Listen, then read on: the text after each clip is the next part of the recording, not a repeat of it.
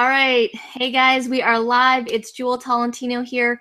Thank you guys so much for tuning in for this interview. Today I've got Michael Essek, and I've been, you know, reading his blog posts and uh, watching him for a while. He is completely crushing it, not just on merch by Amazon, but on print on demand sites in general. If you've seen his uh, blog posts where he does the pie charts, where he, he does his income, it's crazy.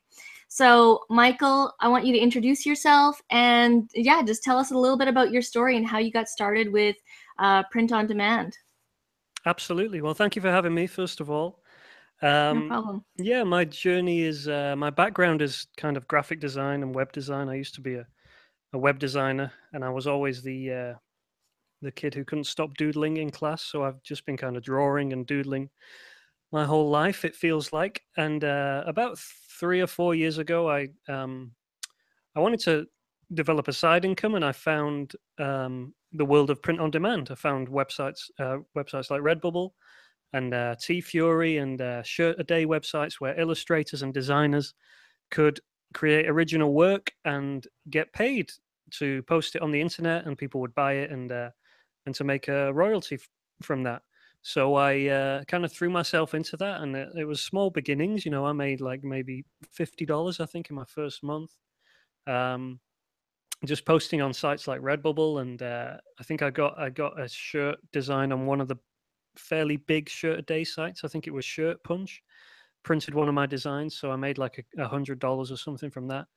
And uh, since since that, I've just kind of kept at it. So I just kept adding designs, and uh, so what, what's when was it last year around uh, October when Merch by Amazon launched. So uh, I'm sure your listeners are fairly familiar with merch, but that's when mm-hmm. things really started to take off for me. Um, so obviously I, had been making designs for a couple of years, so I had a load of designs ready to go. So when merch became available, I just had like a few hundred designs, just put them all on merch, and uh, saw my income basically double, and then uh, triple and just kind of kept on rising since then. So uh, I've just been feeding the beast since uh, since that, and uh, things are continuing to do well. And then I started a blog last year to just kind of uh, track my progress and share what I'm doing with other people who might be interested, and really to help people like me who would be designers and illustrators who knew they had a skill and had ability but didn't know how to make some money from it. And uh, I knew that that was a frustration that I had for many years. Um, you know, I tried to do freelance and things like that and never really managed to make it work.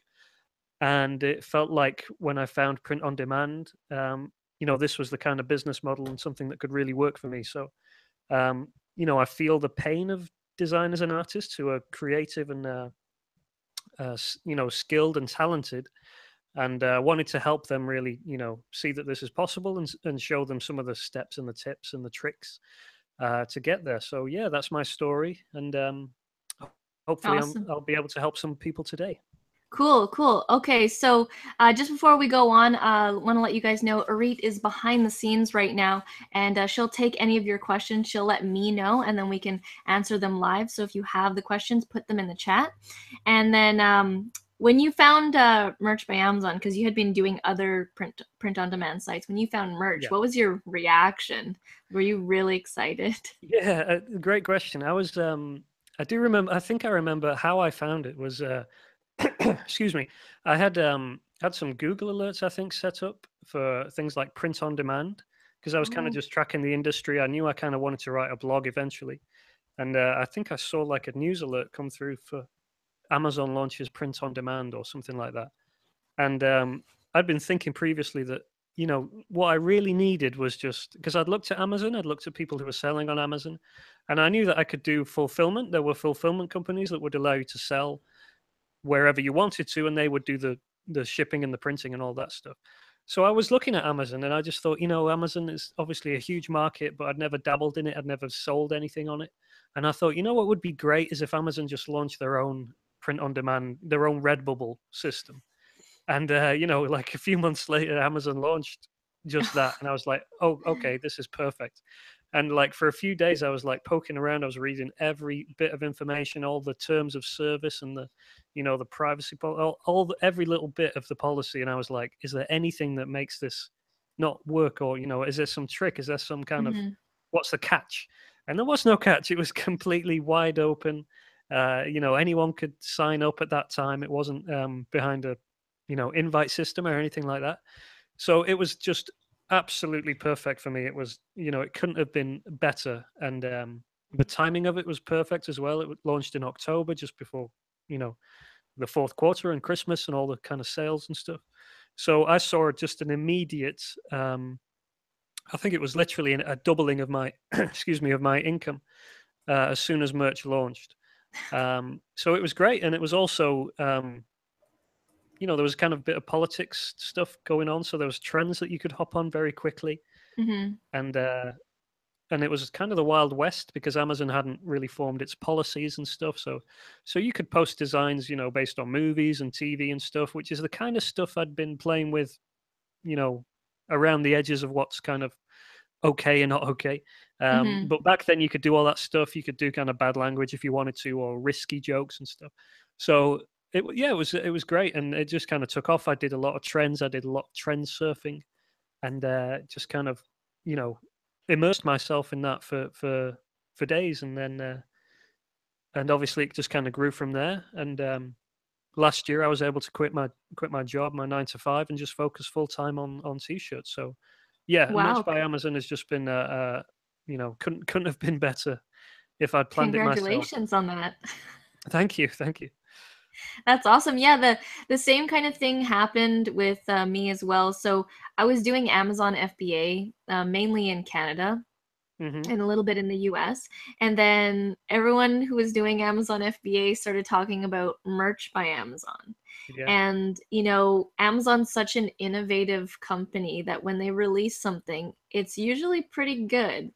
So I checked out merch by Amazon and previously like in the past I I had seen those um Shopify or sorry Teespring like the Teespring where people Mhm. would do Facebook ads and Mhm. do that whole whole route and then it, when you get a certain amount of shirts then it prints like if you sell a certain amount then they print them type thing. yeah, Yeah, so I was interested in that, but uh, to me, I wasn't really interested in um, doing Facebook ads or doing that type of marketing.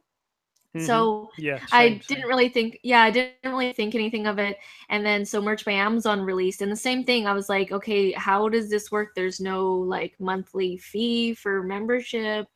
Yeah, Um, yeah. It's basically free, and you just come up with the designs. And I, yeah, same thing. I was trying to figure out, okay, how is this not going to work? And it seemed like it was just going to work. Like if you if you put in Yeah. the time effort, that it's just Mhm. gonna work. Um, I yeah, I have to admit, in the beginning, I was a little bit discouraged because I didn't have a design background. Yeah, Um, so I I know basic basic Photoshop, like mainly doing like text and very simple pictures. Uh-huh. Um, so what, what would you say to those kinds of people? Because not everyone is a designer and uh, who can, get questions from people who saying that they're not designers. Um, what kind of advice from a designer would you give to a non-designer? Yeah, g- good question. I think um, it kind of depends on, and um, you know, some people aren't designers, but they can commission designs and they know what looks good and what doesn't. Um, and then there's some people who just, um, you know, they can't tell the difference between a good design and a bad design. Um, so I think it depends kind of where you are on that spectrum.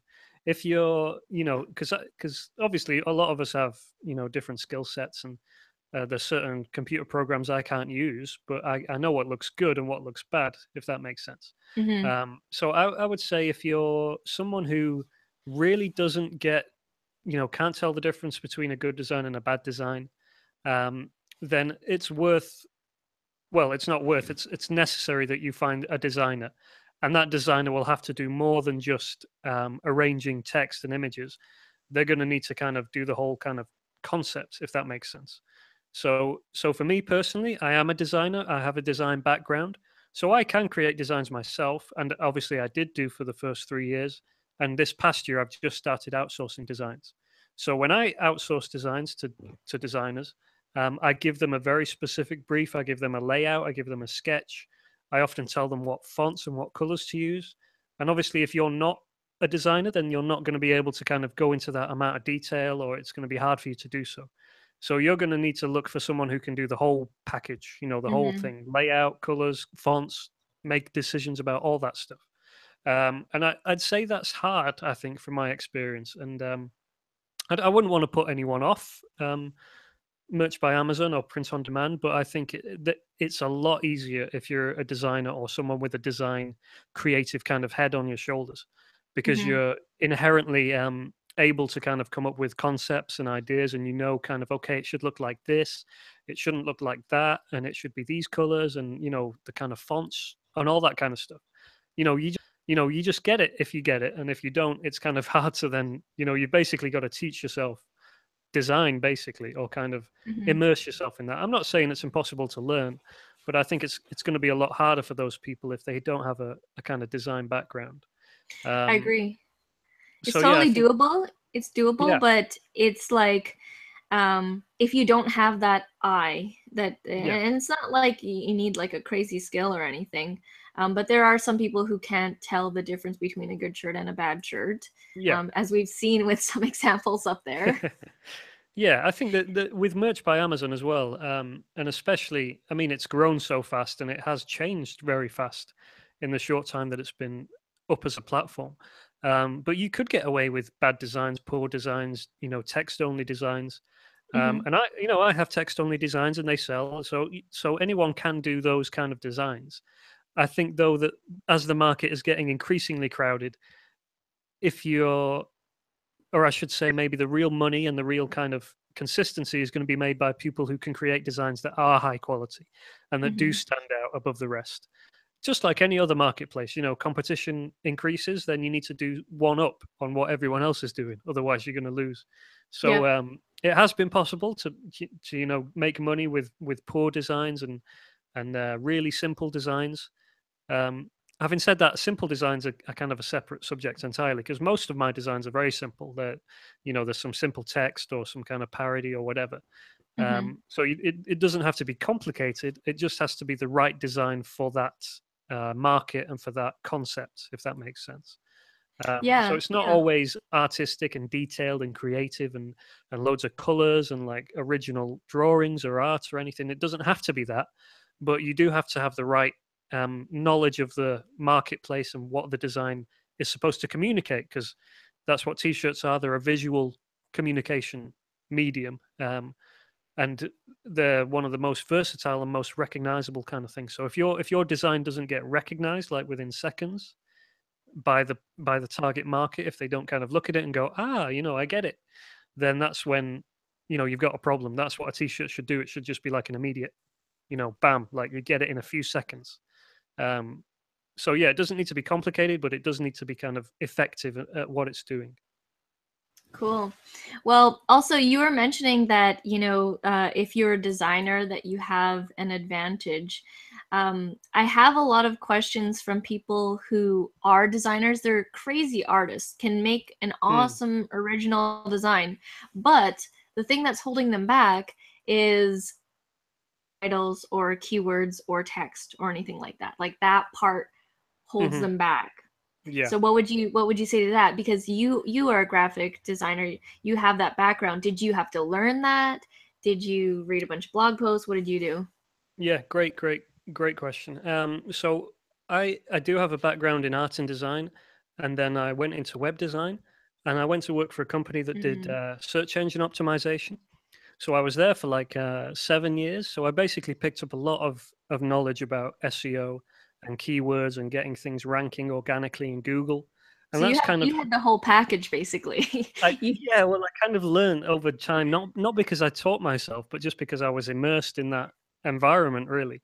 So I picked things up kind of via osmosis, and and uh, I think there was a lot. That's kind of why I had some initial success just with Redbubble and and TeePublic and other sites, because I knew about um, SEO, so I could I could use the right kind of keywords and the right titles, and I knew what to do.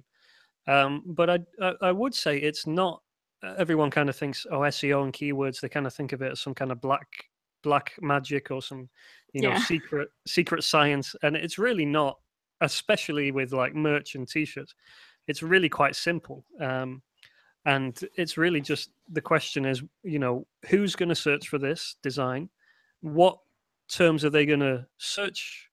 Are they going to use to find it? You know, put your put yourself in the head of the customer and say, okay, I'm a customer.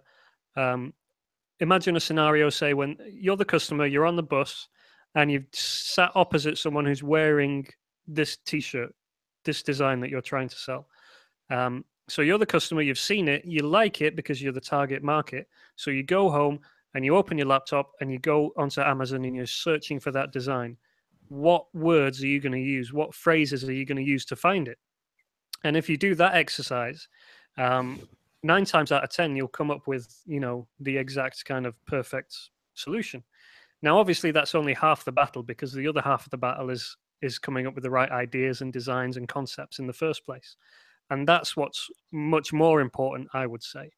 Um, I think people kind of think of keywords and they tag them on at the end of the process. So they create a design, and then they think, okay, now I've created my design. How do I sell it? And really, mm. you should you should think the other way around. You should think first, how do I sell this, or what do I want to sell, and then create it. And then you you know the kind of process is a lot more organic in that in that situation. So I think keywords it starts with the idea and it starts with the concept. Um, and then, you know, there's kind of things you can do, like you throw in some keywords that people might use that, you know, just to kind of cover all bases or something. Like, you know, you might use a specific keyword and then you would go more general. So you might go like basket of deplorables t-shirt, Trump supporting t-shirt or something like that. Mm-hmm. You kind of cover related terms and stuff. But th- again, this is kind of stuff that's not, you know, it's not complicated and it's not secret. Everybody knows it. Everybody kind of gets it.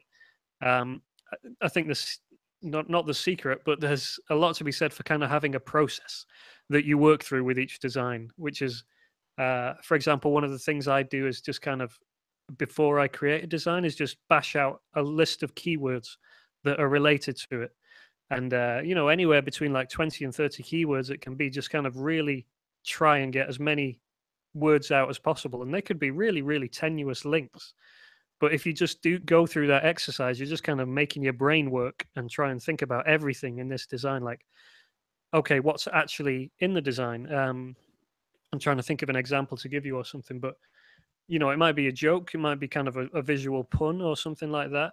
Um, and you might just kind of think about every related term, like if it's a fish joke or something, you'd, you just say ocean and sea and uh, marine biology and mm-hmm. uh, you know just kind of think everything you know what's related uh, sun uh, beach holidays vacations uh, you know all this kind of stuff that might be you know i'm not saying these are the keywords you're going to use in your titles or anything but what you're doing is you're kind of priming your, your brain and the pump and kind of starting to think about okay maybe someone who's a marine biologist might wear this t-shirt or maybe someone who loves dolphins might wear this t-shirt mm-hmm. and you're just kind of giving yourself space to think about it and um, I think if you can do that, that's one tactic that can kind of help come up yeah. with keywords. Um, I agree. I agree because um, when we first uh, started, like I have a background in selling on eBay and um, Amazon FBA, so I at in the very beginning I would always put myself in the mind of the buyer. Like if I wanted to get that item, what am I typing in to find that? And mm-hmm. I've primed my brain to think exactly how how you're like if yeah. the shirt like marine biologist or uh, someone who goes scuba diving or whatever like anything yeah, to do yeah. with water you just let your brain go but i just want to give an example to everyone we have another team member there's three of us doing um, merch by amazon and we have two accounts that we share and mm-hmm. um, each person has a different role um, that we play in doing our merch by amazon business and the this one the, our other business partner her name is maria she had zero experience and the reason why i want to share this story is so that um, you know there is hope for you you can do the titles and keywords and it's not like you said black magic or something yeah. secret like you can see what other people are doing mm-hmm. so she, she had zero experience and she didn't even know what SEO stand for. I don't think she knows at the moment still, but she's the one who does all of our titles and text specifically for all of our shirts. That's just yeah. her job to do. And she mm-hmm. completely immersed herself and she she's mastered it because now, you know, we're getting daily sales and everything. Yeah. Um but she had to like so her brain was not in that mindset like give you an example. Her first titling exercise that we gave her, she put mm-hmm cat four times in the title. So that's how bad it was. Yeah. You know, I had to explain to her that you don't repeat text in the mm-hmm. title because you're wasting the space. You need to do another word that's like cat, you know, yeah. mm-hmm. um, that people would search for. So, but you know to to say to you guys that are you know that are stuck with the titling and the bullet points first of all it's not hard you need to just uh, erase that from your mind because if yeah. you if you say that then it is going to be difficult and you are going to be stressful um, mm-hmm. when doing it but like michael said like just honestly think of what words are related to that and use those. Obviously you want to do research and make sure that those are the right words but it's it's really like people put too much emphasis on it being a big deal i find. Yeah yeah yeah absolutely. People overthink the keywords or they think that if i put a, a, a specific keyword i'm going to get a ton yeah. of sales. It's just like even if you put the the you know the perfect title if there is such a thing you know it, there's so much more there's so much more going on in play that actually affects how many sales you make and and obviously we are talking organic, so I understand that people, you know, it is important, but the other ha- the other half of it is so much more important. The actual ideas and the generation of ideas, and and uh, you know, riding trends or or having different strategies. You know, there's all kinds of different things, but the keywords come right at the end, and they are kind of, you know, they're important, but they're so much less significant than the other stuff. I would say. I would say to people um, that probably one of the more important things to me is um, being consistent yeah. and uh, sticking through with mm-hmm. it and having like a, a schedule of coming up with ideas, creating the designs, uploading them. Like yeah. m- being consistent, I think, is what most people need to work on. Yeah, yeah, uh, that's so true. And I think there's a, a chapter in my book about when I the moment I stopped, or uh, I started um, doing a, a design a day, I kind of challenged myself. Okay, you know, I've been doing a design kind of maybe once a week or two a week or something like that. Um, and then I kind of said, okay, well, you know, the more designs I have, the more money I make. So let me challenge myself and do a design a day. Mm-hmm. And uh, as I did that, kind of it coincided with with merch taking off and stuff. But it really just, you know, rocketed my my sales up. So yeah, absolutely. If you can be consistent and do something like a design every day or more than that, then uh, yeah, that consistency just kind of builds up. Because of, of course, what we're doing is building up an inventory of designs, mm-hmm. and the mm-hmm. more designs you have, the more money you will make. And uh, if you just keep feeding the beast, then then you'll see that income rise. Now it won't be immediate, but over time it will kind of, you know, keep going up. So yeah, definitely consistency is is really important. Volume of of designs is really important um, and keywords is not as important as either of those things. And I think um, also, you know, being consistent, but being consistent even though you're not making sales, especially in the beginning, because that's oh, where a lot of people fall off. Um, when we first started, um, so I first started it by myself, and um, I made a a t-shirt design like it was a quote type thing, and mm-hmm. then mm-hmm. only my friends and family bought it and then for a couple of months it was just dead no sales no sales um, but i kept seeing success with other people in, in the facebook groups yep. and i was like hey you know there's something to this i've got to crack this but i also realized where my strengths and where my weaknesses are Mm-hmm. So I don't like doing the text. It's like my least favorite thing. I, am more of coming up with the ideas, um, doing simple designs, and uploading the shirts. I, I love doing. Mm-hmm. So I went to my business partner and another friend, and we found out what our strengths were and uh, so Arid is really good at doing the more complicated designs as well as working with our Upwork designers. And Maria, like I mentioned, she only does the, the text and very, very simple designs. And you know, you need to realize what your strengths are and what you're willing to work at. And if you can't do that part, then find someone who does. Because yeah. it's like if I if I were like I'm going to be honest, if I was doing this by myself, I don't think I'd be as successful without the two of them because yeah. of the way I work, you know? Yeah. Yeah.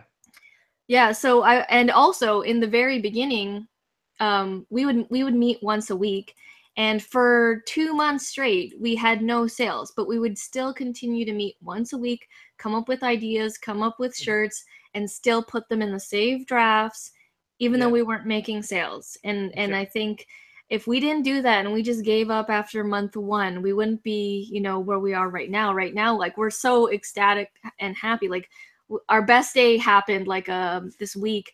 We had Yeah. like 24 sales in one day on Merch by Amazon. Yeah, that's And awesome. That's a huge thing. I remember like the first 25 taking forever. And now it's like in one day, and we can't wait till Q4 Christmas time because it's going to be Yeah, like yeah. Crazy. That's it. But I mean, just- I remember like my first Redbubble sale. It was like you know three dollars or something. Yeah. It, it's that validation, and once you get, once you know the concept works, you know, it gives you so much more confidence to keep going. And I remember, you know, like two years ago, sat in our old house, um, just with my laptop on the sofa, just uploading. Uh, I was doing them to Etsy, so I was selling on Etsy, and, it- and the process just took forever. Like every design was just like pulling teeth. It was so, and you know, I was just like, I'd rather do anything else than this, but I just stuck at it, and I would go there night after night and just upload design after design to Etsy, and I was like, you know, I maybe made a sale a week or something. It was like next to nothing. Um, but that Christmas time, you know, it made a couple of thousand or something like that just from Etsy. So it paid off. But I, you know, exactly what you're saying. You know, if you, you just got to stick at it, and those that do, you know, will reap the rewards from it. But yeah, if you if you give in after like not seeing any action for a couple of, you know, couple of weeks, then you know you're probably not cut out for it, or you need to change your mindset first and get a bit more kind of dedicated first. hmm Because it is doable. It's totally doable. And out of all the things that I've done online, and me and my business partner have done a lot of things MLMs, like website design, uh, online courses. Like, this is by far the most simple in terms of mechanics uh, to make money, in my opinion. Yeah, yeah, absolutely. So let's take some questions. Got Mhm. some questions here. Hold on one second. I'm just gonna pull it up here on my phone. Okay, so let's see here. So Michael, what is the difference between the the two books that you currently offer? Okay, yeah. Um, so my first book is called How to Sell More Shirts, and it is a collection of emails that I sent over the course of the past year. Um, so if you're on my newsletter from day one, basically, you're the only person who will have seen every email. so uh, they, these were emails. They weren't, you know, they didn't go out publicly or anything like that. They just went out to my uh, secret newsletter list and uh, basically it's it's kind of tracking my my thoughts and uh, ideas and things um, so there's a lot of kind of quite in-depth advice in there of kind of how to sell more shirts basically which was the process i was going through at the time um, so yeah it's it's a bit more advanced i'd say that book um, it's not really a beginner's guide um, but my other book um, grow your own t-shirt business is basically a collection and re-editing and working in my blog post which are a lot more kind of uh, beginner friendly, I would say. So it's a give in in that in the second book, uh, grow your own t-shirt business. There's a lot more kind of uh, principles and kind of concepts that you need to kind of get your head around. So the kind of thing we've just been talking about, we've been talking about consistency and uh, daily designing and that kind of thing. So I go into kind of all those kind of concepts, the things that I think people need to know before they get started, kind of the foundational stuff. And then uh, kind of how to sell more shirts is a lot more kind of you know, use this website, go here, or here's a spreadsheet layout that I use, and that kind of thing. It's a lot more kind of uh, nuts and bolts, I would say, in the second book. Although that's technically my first book, but yeah, so there, there is a difference between the two. But um, yeah, right now you can get both of them for for a discounted price. So um, yeah, check them out if you're interested in looking for for ways to kind of get new tactics or ideas, uh, or if you're kind of just looking for an introduction to print on demand and stuff. Yeah, so the uh, Michael's books, uh, the link will be down in the description below, and it's twenty nine ninety nine, which I think is a complete steal for two full ebooks. Like these ebooks, like there's a ton of information in them. I Yeah. haven't been able to go through everything because it's Yeah. it's a lot. Is a Um, lot, but yeah. yeah, but it's twenty nine ninety nine, and you said the price will be going up, correct? It will be going up soon, yeah. After a couple of weeks, I'm just I've just launched the second book, so I wanted to do a special offer for everything, and the first book got revised and updated. So yeah, special offer for for people for the first kind of couple of weeks and stuff. But that that, will be going up, um, and it's already kind of it's already higher than that on my website, so people are already paying full price. But this special offer is live for for for the next kind of few days, a couple of weeks, maybe something like that. Awesome, awesome. Appreciate that offer. Uh, got another question here. Uh, uh, where and how can I get his free lead generator? Not sure what uh, they're referring to. I'm not sure what they mean there, unless they mean my books. Or maybe your landing pages, or landing pages. Um, oh, I'm not know. too sure. Maybe um, if you can clarify what that means yeah. in the questions, that would be awesome. Yeah. yeah. Uh, okay, let's see here. Um, all right, so we answered this, but they were saying, do you do you have to be artistic to sell merch? And the answer is no. You don't. It's a definitely a benefit if you are. Yeah. But mm-hmm. um, you don't need to be because I'm not uh, a graphic artist or anything like that. Um, you just need yeah. to have an eye for what uh, what looks good on a shirt and sort mm-hmm. of like in the area like let's say if you're doing a shirt about golfing or or uh, bowling or something that you can uh, relate to those people who like bowling and put the proper image and text like basically sell to them right? Yeah. Yeah or even an even simpler example would just be like a text only thing like you might know a particular phrase or something that other people don't know and there's no t-shirt for that already in existence or something? I mean if you if you for example could kind of predict the future or see a trend coming down the line um, you know if you if you knew about kind of fake news or something like that obviously fake news is this huge thing. If you knew that you know trump was going to talk about fake news and, and this would be a huge thing for weeks and months um, and you kind of just created a t-shirt that just said fake news or or cnn is fake news or whatever it was you know you would mm-hmm. obviously be kind of ahead of the curve and you would then be able to to make sales from that so um, you know you don't need to be artistic to do that you do need to be kind of aware of what's happening and what's coming up and what trends are are bubbling or uh, you know those kind of things um, and also just on that topic um, we think of trends and obviously I, the automatic thing is to go for like big trends like you know trump or, or politics or you know mm-hmm. things that are on headline news but I think a lot of us forget that there's trends happening in every community, you know, every little niche and community that you that you might be a part of or even not. They have their own trends and they have their own kind of, you know, things that are popular and phrases that are popular for a while. So in the gaming community or in the football community or in eh, you know any anything you like in the bitcoin community or in the libertarian community you know there's these little niche communities that exist um, Reddit is one of my favorite websites to kind of have a look around at different communities. And all those communities have their own little trends, you know, things that come up and are popular for a while and then they die back down and stuff. So, um, and these niches and communities, the reason I say this is that they are a lot less competitive to play in than headline news trends and that kind of thing.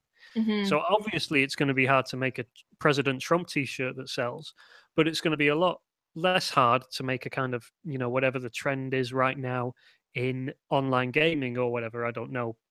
That's not my niche but you know those kind of things. There's going to be some popular game or there's going to be some popular kind of topic that's being talked about in certain communities that you might know about that other people don't know about. So it's going to be a lot easier to get in on that and make some money from that than it would be the big kind of headline trends. So yeah, you don't need to be artistic, but you do need to have some I call it an advantage, you know, some kind of skill or something, something you know about that other people don't, um, that will put you ahead of the pack. But yes, you don't need to be artistic, you don't need to be creative, but it does give you a massive advantage if you are. But don't let that put you off. Don't let no. that put you yeah. off. You can definitely, you can, that this can be learned. All this stuff can be learned.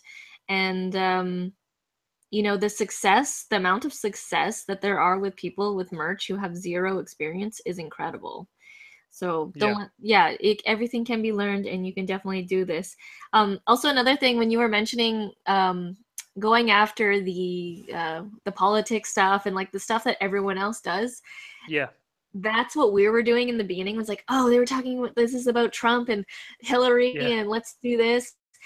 and that did not work for us because there's so much competition everyone is grabbing after that yeah. that you know after a certain number of politics type shirts first of all a lot of them got rejected um, yeah. but even after that, we were like, okay, we don't want to go after what everyone else is doing now. We're going to go the opposite direction and go after what other people aren't eating at.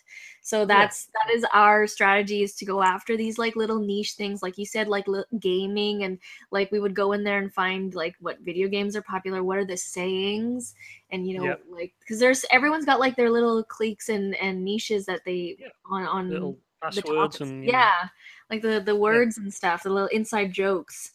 So yeah, exactly. that is that is definitely a good recommendation. Do not go after what everyone else is doing because you're even if you do the same keywords and like similar design or even better design, it's hard to get in there. Yeah, yeah, and I think it's like uh, people might hear that and think, okay, don't go after trends. Now, I'd, I'd, I would not say don't go after trends, but I would say don't go after trends that have already hit, if that makes sense. Mm-hmm. Like yeah. I spent a lot of last year trying to predict and judge trends and, and anticipate what was coming. And uh, obviously that's kind of hit and miss, and it's kind of it's very much you know nine times out of ten you lose, but at the same time it's um, it can be done, you know. And there's examples I give in my book of like you know looking at what kind of holidays are coming up and kind of mixing that with what's popular in the news and you know it's not like rocket science but it does take a bit of an approach to get it right and it's not something you get right all the time.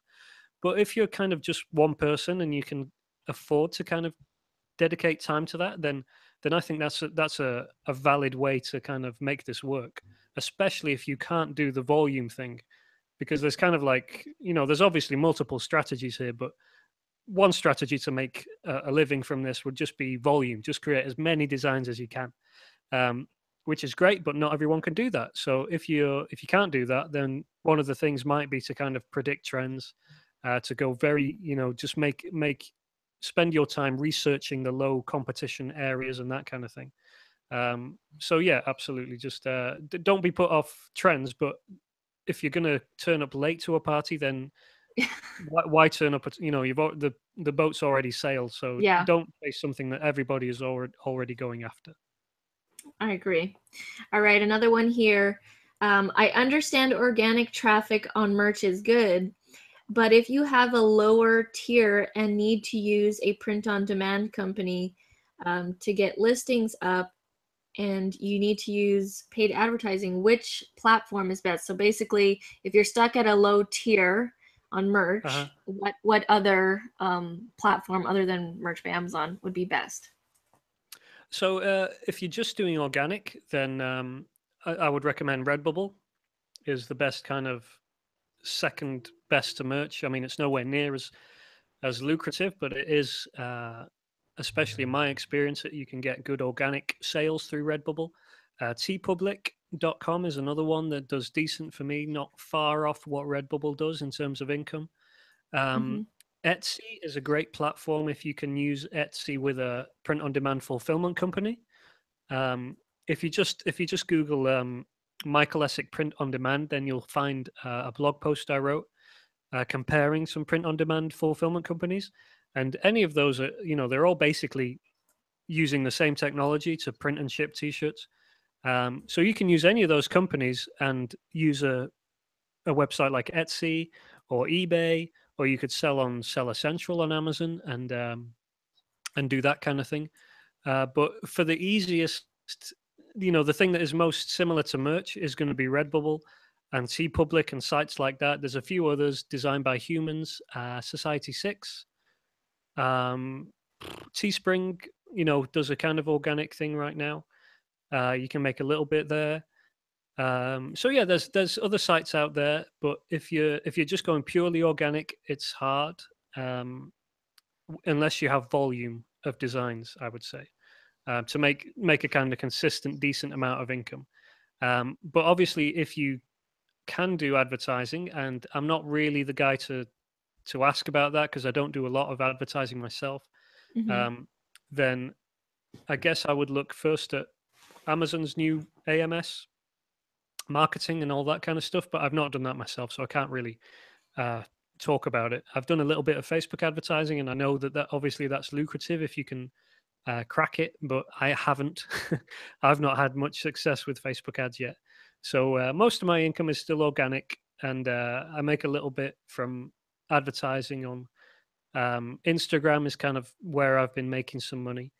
Um, doing sponsored posts, so not not ads directly through um through uh, Instagram, but through you know contacting people and saying, "Hey, oh. would you oh. be interested in posting uh, this photo?" And I'll send you some shirts, or we'll work out a deal, you know, and pay them for their for their uh, posts and that kind of thing. So that's been working well for me. But that you know, you have to have a niche, you have to have a you know a related topic and that kind of thing. So I, I wrote I wrote an article on that. So that's on I think it's on my website. If it's not on my website, it's, it's in one of the books. Awesome. Um, so yeah, there's certainly stuff you can do do with advertising, but I'm not kind of the expert on that, so I wouldn't want to talk too much in detail about that. Yeah, same. I'm not really into too much of the paid advertising. I'm more interested in the organic, um, yeah. just because then with organic you don't really like it just happens organically, right? So you don't have to uh, pay exactly, pay yeah. for a- advertising. But we did try one thing with uh, FameBit. not sure if you've ever heard of that site before. Yeah, I've heard of it. I've not. I don't use it myself, but I have heard of it. We tried it out last Christmas. So we basically paid a YouTuber who had about 250,000 subscribers. Mm-hmm. And he he um is a movie review channel. So the T-shirt that we had was had to do with a Christmas movie. Okay. And um, so we paid him to wear the shirt, and then to mention the where to buy the shirt in the first like minute or so of the video. And yeah. that did that did really well. So we spent about i think like 250 250 or 275 us and then it uh-huh. gave us uh, over a thousand in um, merch by Amazon commission profits. That's great. Yeah yeah. I think uh, the yeah, thing but, i um, found with with um, with sponsored and instagram and stuff is you really have to throw some money at it. You have to have some money in your pockets first before you can mm-hmm. see an impact. Because I've been doing Facebook for a while and never really seen it work, but I was only spending very small amounts of money. Um, so it's hard to make a return when you're only spending like five dollars a day or something. Um, yeah. But when I then kind of went, oh, okay, and kind of switched my mindset and and reached out to someone, and he asked for like a thousand dollars, and I was like, okay, you know, let's see if it works. Um, and it and it did, and kind of you know we made a lot from that. So I, I, think it's it's something that if you're just starting out, I wouldn't really fool with it until you've got some money mm-hmm. in the bank, um, because it's going to cost some money to do it effectively. Um, and if you if you're kind of getting to that point, then I would say you know be prepared to put some some real cash into it, um, because only once you spend over a certain amount are you going to see that come back to you. And if you spend, you know, if you don't spend enough, you you really don't you're not going to see an equivalent return if that makes sense.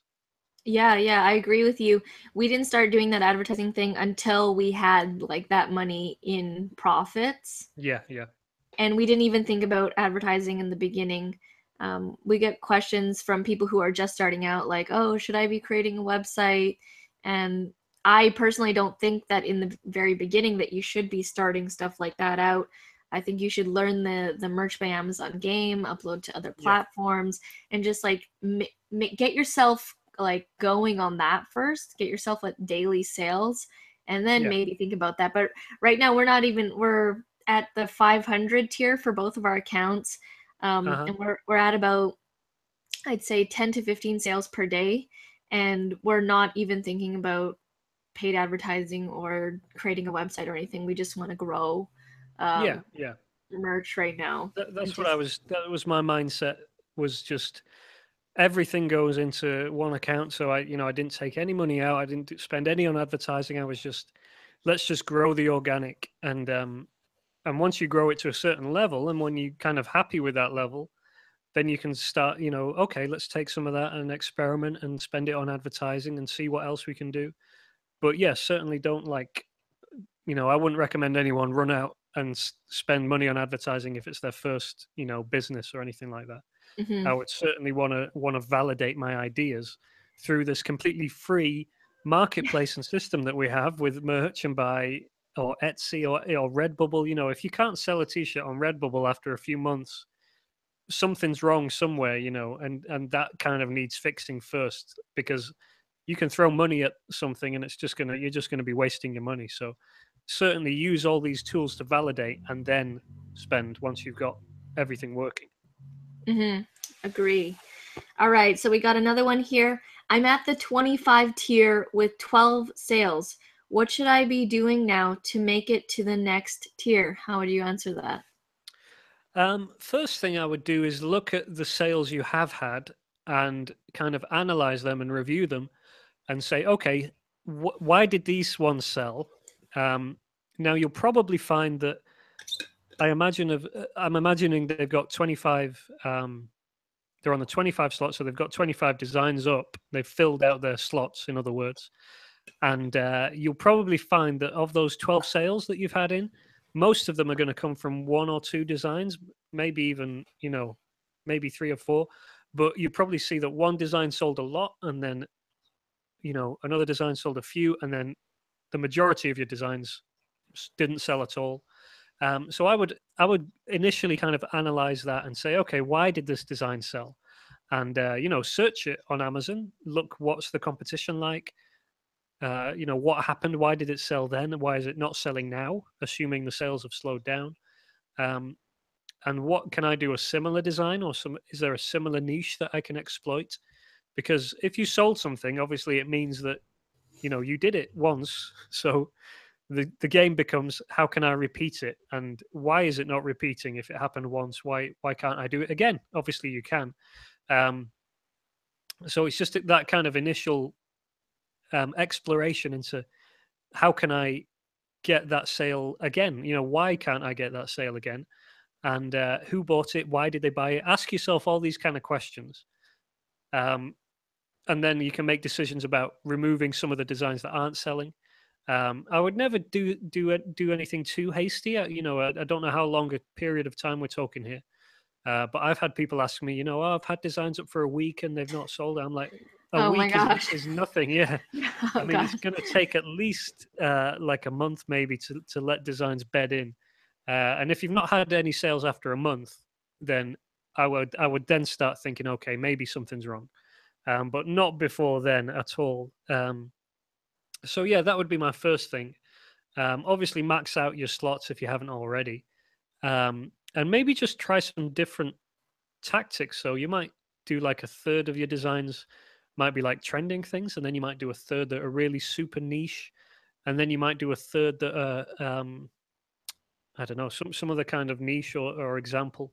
So instead of having all your eggs in one basket, kind of spread spread them out and uh, you know try different things, but don't be too hasty with swapping designs out. You know, let things kind of sit for a while, mm-hmm. um, and and use other websites like Redbubble and TeePublic in the meantime to number one bring you some extra cash, and number two test out you know which designs might sell because obviously you are limited to 25 designs on Amazon, but you're not limited to 25 on Redbubble. So go and go and smash a load more designs on Redbubble and maybe you'll find okay this design on redbubble that i don't have on amazon is doing great so obviously you swap out and put that one on on merch or something. So yeah, just use use all the tools at your disposal um, until you get uh, you know tiered up with with uh, Amazon. Um, but yeah, it's it's just that kind of game of finding finding what works for you, and then just keep keep on going. Cool. Yeah. Um, I was just gonna say that. Um, sorry, I forgot the question. I'm losing okay. my um, when someone was saying, "Oh, they they after a week, you know, oh, it didn't sell," yeah, like that's. You're in the wrong mindset. First of all, if yeah. you're thinking like that after one week, one week, um, we were at two months um, no sales and i would log into the account every day and see zero, yeah. zero, zero. and then one day i saw like one which represented one sale and yeah. it just is like you just need to hang in there and it's it's totally doable it's it's not it's not rocket science, and um, yeah, it's it's doable. And, at the same time, it is it, it, obviously it's getting more competitive. So I don't want to you know tell people, oh, it's great. You know, you just mm-hmm. whack designs up and you you make sales. Oh, it's easy. It's not easy, and it's not going to get any easier. It's going to get harder. Yeah. Um, but yeah, if you can if you can dedicate yourself to it, there's very few people who um are going to be kind of in the trenches every day. I think a lot of people are going to look at merch, they're going to play around with it for a few weeks, they won't get any sales, and they'll drop it and they'll walk away. So if you're someone who will stick at it, then you know you're in the minority. And if you're someone who'll stick at it, who has got skills and has got ability, especially in design or in ideas and trend spotting and that kind of thing, then again, you, you've given yourself another advantage. You're you're another step ahead. And um, even with like the big big merch sellers, kind of like, especially with kind of my experience, last year I was chasing trends. Last year I was I was looking at what's popular every day. This year I'm not. This year I'm just looking at volume. So I'm not looking for like little trends and all that kind of thing. I'm just kind of coming up with my own ideas. Mm-hmm. I'm kind of relying on volume to keep my account growing. So I've kind of left chasing trends, which means there's one less person, you know, chasing the trend. Now, maybe I've been replaced by, you know, 500 other people, but um, my point is that, you know, people are kind of moving up the tiers all the time. So, you know, you just need to focus on the next level for you. You know, you don't need to worry about getting to the thousand tier. You just need to get from 25 to 100 or, or whatever it is now. And then yeah. from 100 to 500 and, and so on. So, um, yeah, don't kind of get ahead of yourself. Just kind of focus on how can I get these sales right now and then and keep it going. Yeah, I agree. Like um a lot of people they're at the 10 tier or the 25 tier and then they're like, how do I get to a thousand tier, you know? But really you just need to get the basics down first and do it step by step. Um, yeah. All right, got another question here. So, knowing what uh, you know now, going back, what would you do differently? Great question. Um, I would. What would I do differently? Well, kind of when I started, obviously we didn't have merch, so um, so I didn't know merch was coming. you know, for the first couple of years that I was doing print on demand and just doing Redbubble and all this kind of stuff. Um, I think it's kind of it depends who you are. If you're an artist or or a creative, uh, you know, a designer type, then um, I would really recommend that you develop either your own personal brand or a specific kind of business brand um, that you do everything under. Well, not everything, but that you can at least you have something on the side that's kind of like your own brand. Um, so that from day one, um, you you know you could be creating trends and stuff on one side, but then on the other side, maybe you have a your own brand that's focused on doing, um, I don't know, let's say it's dolphin related artwork, and you just do kind of dolphins and oceans and and this kind of stuff, and you call it the Dolphin Company or you know dolphin t-shirts or whatever it is but you you know you have your own brand and you just kind of stick with that and it's kind of niche based and it's uh, you know a similar style. Everything kind of you know sticks together. So people something that people could like, you know, something that people would follow as an Instagram account or something like that. Um, so from day one, I would I would I would you know you don't need to do that from day one, but I would at least be thinking in that direction. Um, the reason I say that is that it takes a long time to grow um, a brand. Um, you can't do something like that overnight. Whereas with print on demand and, and merch and Redbubble, you can make money literally overnight. Um, mm-hmm. You know, if you have the right ideas. Um, but the problem with with merch and print on demand and Redbubble is obviously we are subject to another company's um, you know whims. So if Amazon changes its algorithm or they want to start offering less royalties per shirt, then they can do that and hit you in the pockets, you know, whenever they like. Whereas if you have your own brand and you're selling through your own Shopify store eventually, or even through something like Teespring, but you have your own audience, you have people who follow you, you have people who like you for what you create, then you have a security there that you, you will never have through merch. Um, so I think that's great. And I think I would have, um, if I could go back, I would, I would stick with that from the start. I did do that and I kind of kind of jumped from a few different brands but I didn't stick with one. And I think I would, looking back, I think it would have been better if I would have just stuck with one brand that I was building up alongside doing everything else, if that makes sense. Um, awesome. So, but obviously that only applies really if you're kind of a creative designer type and you're going to, that's kind of where you want to go with things.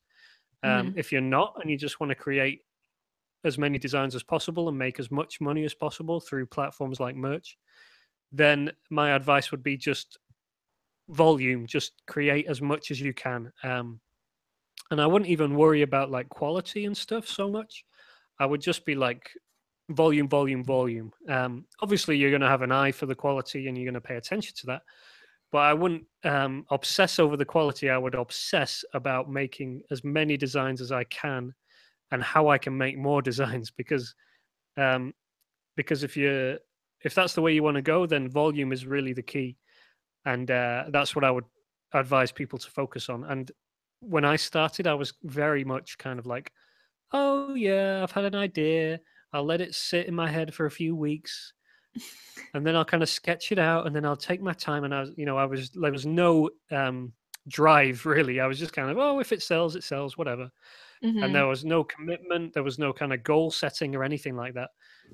So I think if I would have had a different mindset from the start, I would be way ahead of where I am now. Um, if I would have just been like, okay, what's today's design? Okay, you know, there were so many designs that I didn't create uh, that I just kind of let go, and you know, oh yeah, well maybe it won't sell, or you know, convince myself out of it. You know, um, so I think if if you would just have a mindset of just create, create, create, keep going, keep going, keep going, um, then you'll be in a much better place two or three years down the line. Um, but you probably need to think two or three years down the line and not expect to see things happening within weeks and months, um, but to have a long term view. And I think thankfully I did have that from the early days. So I was never like, oh, it didn't sell today. So, you know, forget it. I'm not doing this anymore. I was always kind of thinking, well, this is a long term play. So I'm going to be doing this for a couple of years before it ever makes enough money for me to quit my job anyway. So, um, so at least I had that. So yeah, I know that was a lot of different answers there, but I hope that helped. No, I think it really does. And um, when we started this, we said we're going to go all in, full effort for one year, and we're going to mm-hmm. see what happens after that. And yeah. I think at the eight month or seven or eight months mark, we hit a thousand a month in after yeah. all the after Amazon takes everything. Um, yeah. And then we're like, okay, yeah, this is real. We're going to go in it. Like now we're meeting like two, three times a week for a longer period of time. And Merch by Amazon on, on our list of things, because we have um, some other things that we do with our business along with this YouTube channel. It was at the bottom.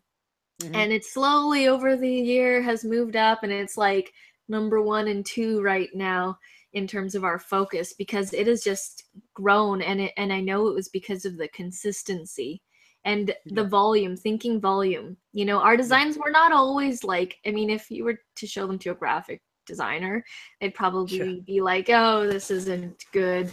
But that's not how we were we were thinking was to get it like perfect. You know yeah. we we knew that the, the design was good but not like crazy artistically good but we were more interested in the volume and we've always thought about that and being like that is to uh, one is greater than zero. So if you don't have that design up, you're not going to expect to sell anything. It's your your best chance is to just have as many designs up. That yeah. way, your chances are greater. Like you're increasing your chances. Yeah, exactly. And I think if if you're an artist, you kind of, or at least with me, I was kind of like, oh, you know, it's about the design. It's about the um the quality and it's you know you can't do that at volume and you can't but on the on the flip side, like if you want to make money, you're gonna have to create at volume, um, because that's the way this model works.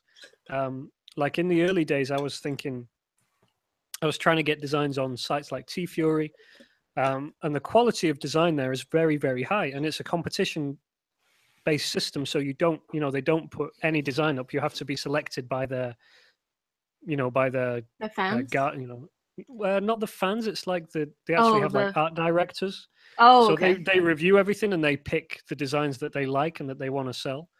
And so the quality of the design has to be great, and the idea has to be great as well. Um, so that's where I was focused on in the early days. Was just like, okay, I need to do the best design. I need to come up with the best idea. Um, and so I would obsess over designs and over the details, when really I would have probably been a lot better off now if I would have just gone for volume and created every design I could think of and not obsessed about the quality, mm-hmm. but just got every design out there. Because the other thing about this is, um, you know, people might think, oh, I've done a design and then add it to my list of designs. And then that, you know, it's in my inventory of designs, it's on merch. Okay, next design. And then they kind of think, okay, you know, you're never going to revisit or think about that design once it's up. You know, it's just up there. But actually, you know, if you're smart, you're going to review kind of what's selling and you're going to look back over your designs that you've created and you're going to think, huh, that's given me an idea for another design. Or, oh, I could tweak that or redesign it, or I could use it for this other market or something like that. And you could find, you know, you're getting multiple uses out of one design and uh, reappropriating it for different purposes and stuff. And I've even had stuff like that that that did well on like TeeFury, like years later. Like I created a, a design for one purpose or for one joke, and then like years later thought oh i could kind of just twist that and change this word or something like that and then send it to TeeFury and they're like oh yeah we like it we're going to print it. So um yeah there's kind of different uses for you know multiple uses out there for for different designs. So don't limit yourself to thinking you know it's just a volume game and move on to the next one. You know think it's a volume game so let's let's create multiple versions of every design we create or something like that. You might want to do that. So, mm-hmm. yeah, th- think on how you can get the most out of everything, basically. Cool. Okay, well, we have time for a couple more questions. We need yep. to wrap it up here. Don't want to waste any more of your time. Um, so, they the data lead generator that they were referring to um, was the Excel spreadsheet that helps automate your listings, brand name, title, and bullet points. That's what they were referring to. That oh, first right, initial okay. question. Um, they're um, asking how to get that. well, interesting question because I'm not sure I've actually said anything about that before, but I do have. um, I do have a Google uh, Sheets kind of system that I use to to. Well, I wouldn't say it optimizes anything, but it kind of just automates and creates the the titles and the descriptions and stuff based on what I put in there. Um, so it's not doing anything complicated or smart. It's just kind of you know I say Trump T-shirt and it, or I say Donald Trump and it puts T-shirt at the end of it and that kind of thing. Um, okay. So uh, unfortunately, I don't, don't, I don't kind of give that out or anything yet. But I'm kind of, I'm thinking about uh, maybe trying to turn this into a piece of software that would make it easier for people. Um, so yeah, I watch the space, I guess, on that one. But I, I, there okay. is um, there's a spreadsheet I linked to in my book, um, which is uh, how I kind of organize my listings um, but it and, and it just organizes all the data. Um, so it's not automated or anything, but it's just kind of how I save the titles, save the descriptions, and all that stuff. Um, so okay, nothing, and that is uh, that's special. in the book. Yeah, there's a link to that from the book. Um, okay. That take that gives you uh, you know a, a, link to a Google spreadsheet that will allow you to make a copy and save it for yourself and use it. Um, but as far as the listing kind of automation stuff, I don't have something I can give out on that yet. Um, but watch this space. I might um, I might create a kind of product that people can can purchase or something. Um, cool. So yeah. All right. And uh, what percentage do you set for Redbubble? Uh, I think it's. Uh, if you bear with me, I will double check, but I think it's twenty-five or thirty.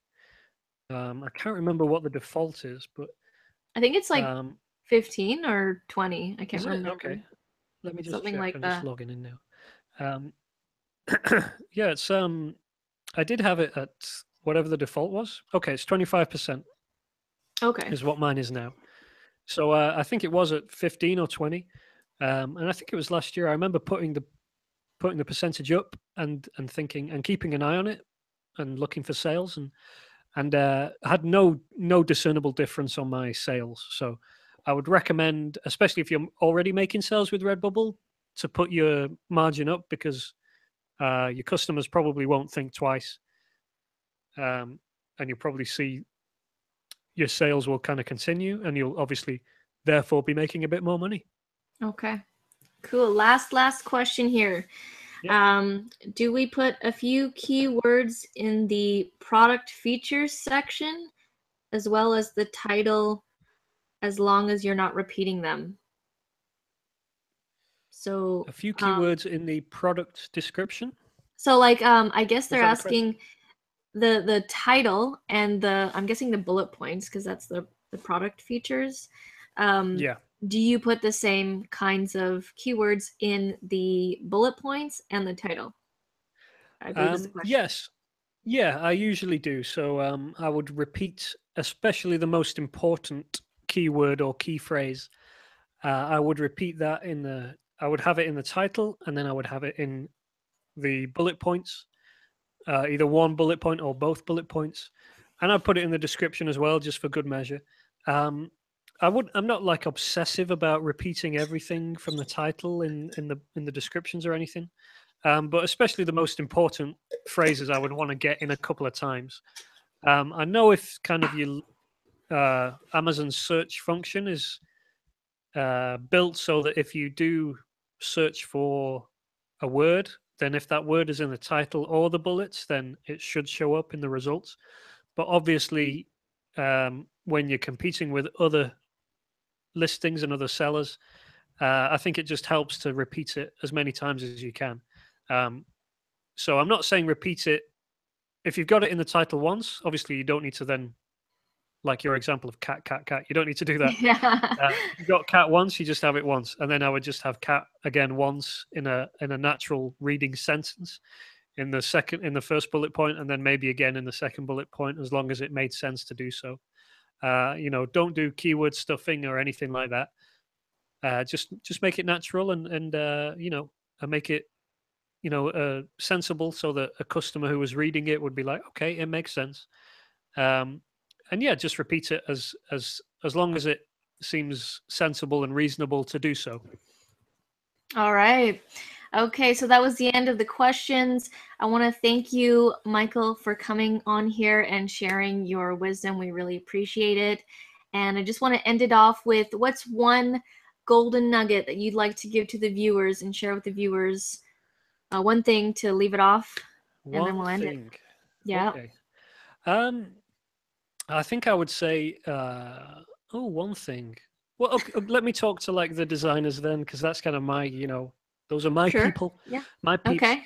Uh, if you're a designer, if you're an artist, I would just say, um, work on your thing, whatever it is that is yours, and that you you do best at, and kind of that you think, okay, this is really my kind of passion area.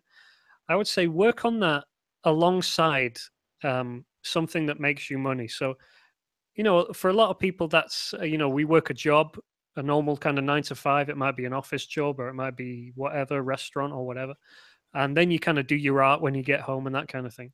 So, what I would say is just make sure you're working on that thing and treating it like as a business from from now. Like think two and three years down the line, if this thing worked, you know, what would it look like? What would it be?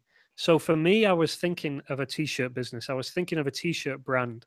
And I was thinking, if this works, what does it look like? You know, what does the logo look like? What does the website look like? What kind of products will I be selling? Where will I be selling them? Who will I be selling them to? Um, all these kind of questions. So I would think about that now and kind of just start working towards that.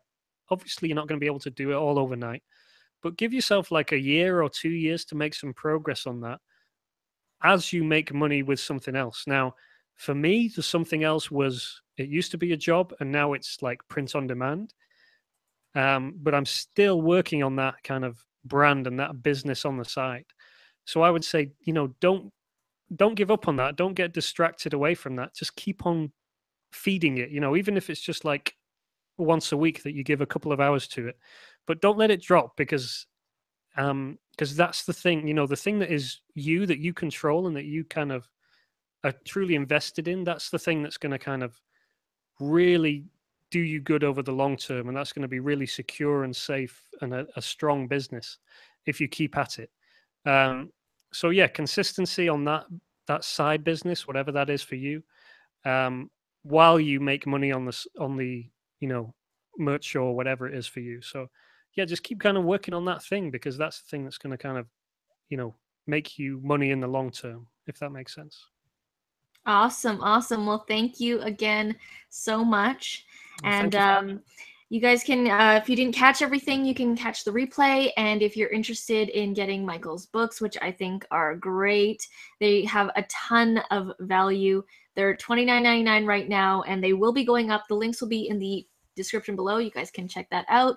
And if people need to contact you, how should they do that? Yeah, you can um, you can hit me up on Facebook, uh, Michael Essek on Facebook. Um, if you actually if you buy the books, uh, so with the special offer right now, you get you get access to my uh, private Facebook group. So it is completely closed off. Um, no one gets in now unless they purchase my books. So if you do want to do that, then that kind of gives you an extra level of kind of way to get my attention. And uh, so it's a private Facebook group. We we help one another out. There's about um, 600, I think, people, something like that, in there right now. So uh, it's great if you're um, if you're interested, especially in t-shirts and stuff. You can hop in there and ask questions, and I'm in there most days, asking, answering questions, and kind of you know chatting about what's what's new with me and what I'm looking at and that kind of thing. So uh, yeah, that's a great way to get my attention um, in the Facebook group, or you can just you can message me and stuff like that. But I do kind of uh, it takes me a while to get to get back to everyone. Um, yeah. Yeah, Facebook. I'm on Twitter, or you can just email Michael at michaelessek.com. Awesome. Awesome. All right, guys. Well, thank you guys so much. If you enjoyed this video, make sure to hit the thumbs up. And as usual, I'll see you guys in the next video. Bye.